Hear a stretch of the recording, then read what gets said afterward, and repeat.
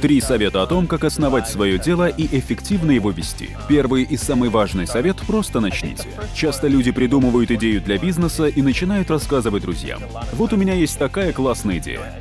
А надо просто взять и сделать. Реализовать идею — это значит запустить бизнес, вывести продукт на рынок. Обязательно надо выпустить какой-то продукт. Часто люди откладывают выпуск продукта, пытаются довести его до идеала и в итоге не выпускают вообще ничего. А если ты выпускаешь продукт рано, пусть даже сырым, то ты сразу получаешь реакцию пользователей. И можешь понять, оценить, сработала ли твоя идея, выдержала ли она испытание реальностью.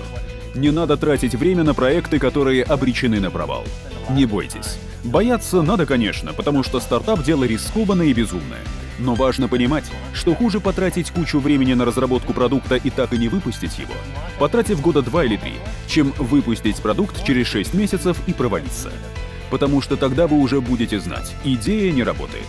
А если вам покажется, что идея имеет право на существование, всегда можно сырой продукт доработать, а потом еще, а потом еще, пока он не будет готов полностью.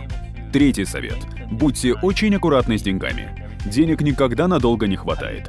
А чем больше у вас денег, тем больше шансов на успех. И часто умение растянуть бюджет на как можно более долгий срок – ключ к успеху.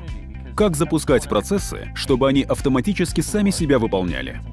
Как работать днем, а ночью управлять компанией? По-моему, это вполне адекватная модель. Ты получаешь зарплату за свою обычную работу, а в свободное время после работы управляешь делами. И это интересный популярный способ вести дела. Многие успешные предприниматели так начинали. В нашей работе над компанией президента Обамы социальные сети нам здорово помогли. С помощью соцсетей мы общались с разными группами избирателей. Вся история с New Bicycle Обама из Your New Bicycle была завязана на соцсетях. В основном мы использовали Twitter и Facebook, и Tumblr. Twitter и Facebook все еще очень важные социальные площадки и будут оставаться такими в обозримом будущем, несмотря на то, что появляются новые виды социальных сервисов. Мне очень нравится Twitter, им приятно пользоваться, и еще он быстро растет.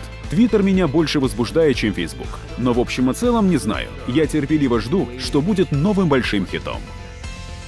План Б на сайте rbk.ru